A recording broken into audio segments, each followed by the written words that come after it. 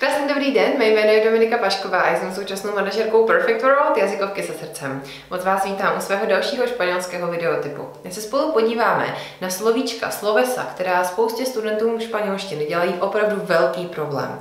Jedná se o všechna tato slovesa, která se chovají podle stejného jednotného vzoru. Pojďme se na ně mrknout.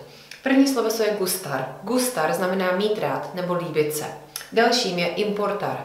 Importar znamená záležet na něčem. Další sloveso je molestar. Molestar znamená vadit nebo trošku otravovat. A další je fascinár. Fascinár znamená být tím fascinovaným, fascinovat. A další je encantar. Encantar znamená to zbožňovat, být tím okouzlený. Takže tato slovesa se chovají dle jednoho jednotného vzoru. My se podíváme jak a doufám, že vám bude jasné, jakým způsobem je používat a nebudu vám dělat žádné problémy. První věta. Me gusta tu koče. Me gusta tu koče znamená mně se líbí tvoje auto. Důležité je si uvědomit, že vždycky před slovem gustar se používá komu se to líbí. Takže me gusta, mně se líbí a potom co? Tu koče, tvé auto. Toto je jednoduché. Toto sloveso se vždycky tvoří podle toho, co přijde, až podle toho, co se mi líbí. Pokud se mi líbí jedna věc a je to tvoje auto, tak to bude gusta. Třetí osoba čísla jednotného. Takže me gusta tu koče. Mně se líbí tvoje auto. Další věta. Te gustan mis gafas. Te gustan mis gafas znamená líbí se ti moje brýle. Líbí se ti moje brýle. Zde máme tobě, takže te, už to není me. A potom jsou to gafas. Protože gafas jsou množné, tak toto sloveso musí být také v množném čísle. Takže mis gafas jsou gustan. Takže te gustan mis gafas, líbí se ti mé brýle. Další věta, to už je trošku náročnější, ale stále nic těžkého.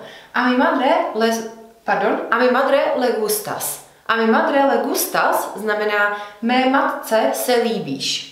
A zde už to máme maličko jiné, protože podmětem už je, že ty se líbíš a proto koncovka toho gustar bude gustas, protože seš to ty. Už to nejsou ty brýle, tedy gustan, ani to koče, tedy gusta, ale seš to ty, takže gustas. A druhá záležitost je, že pokud se líbíte někomu konkrétnímu, tedy už nejenom mě, tobě, ale třeba mé matce, někomu dále specifickému, mému tátovi, lidem a tak podobně, tak se zde vždycky musí používat a Tedy komu? Je to totiž pádové, takže tady musí být a mi madre a navíc, a to je právě to, na co hodně studentů zapomíná, se zde ještě musí používat toto zájmeno, to jí. Takže doslova oni řeknou mé matce jí se líbíš, ale říct to skutečně musí. Takže správně je tato věta pouze a mi madre le gustas. Také se dá říct le gustas a mi madre. Toto může být na konci, ale musí tam být jak toto, tak toto. Tak na to pozor. Další věta s dalším slovesem, která fungují všechna úplně stejně jako gustar, je například te molesta si fuma. Te molesta si fuma znamená vadí ti, když bude kouřit. Vadí ti, když bude kouřit, takže te molesta tobě vadí a protože ti vadí jenom tato jedna věc, ta záležitost, tak je tady molesta, protože je to to třetí osoba čísla jednotného. Te molesta si fuma. Vadí ti, když bude kouřit? Nebo no importa. No importa znamená na tom nezáleží. To je jedno. No importa. Na tom nezáleží. Není tady řečeno komu. Je tady že jenom, že ne záleží a to, že na čem nezáleží, tam dokonce ani není. Protože španělština, pokud uh, říká to, tak ho vůbec nevyjadřuje. A proto správně je to no importa. A česky na tom nezáleží. Protože podmětem je, respektive tím slovem, podle kterého se určuje to sloveso, je to, tak zde je importa, nikoli nic jiného. Další věta. También importáis. También importáis znamená na vás také záleží. Na vás také záleží, protože koncovka slovesa importar je ais a to je vy. Takže na vás také záleží. Vy jste tím podmětem nebo tím, podle čeho se určuje to sloveso. Další věta. Le fascina saea. Le fascina saea znamená ty, protože zde máme fascinas, ty jí, což je vyjádřeno tím le, a aby bylo jasné, že to je jí, respektive, že jí fascinuješ a ne jeho fascinuješ, tak oni ještě vyjádří i to a eja. Takže ty jí fascinuješ. Ty jí fascinuješ. Le fascinas a eja. Kdyby to bylo ty ho fascinuješ, tak by to správně bylo le fascinas a el.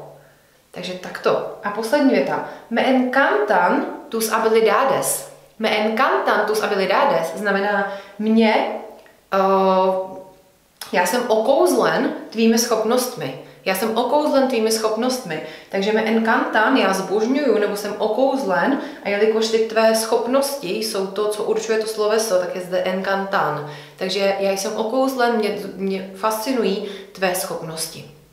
Tak toto je to, jakým způsobem se všechna tato slovesa chovají. Já doufám, že je to trošku jasnější a důležité je si uvědomit, že to, podle čeho se určuje tvar těch sloves, je to, o co jde, jestli se mi líbí ty tvoje brýle, nebo to, nebo ty, nebo oni zda, nás, zda nám vadí. Toto je to důležité.